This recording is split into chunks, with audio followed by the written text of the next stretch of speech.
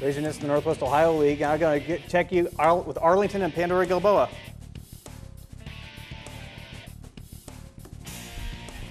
Arlington and PG here, and they're stuffed at the line for a loss. Now Connor Faust with the call, the handoff, and dives into the end zone for the touchdown. Now Bryce Basinger. He'll be, he'll be the next man to receive the carry. Reverse to the right, cuts up field. Beautiful play and down inside the 25. 28 21, our final score. Arlington takes the win.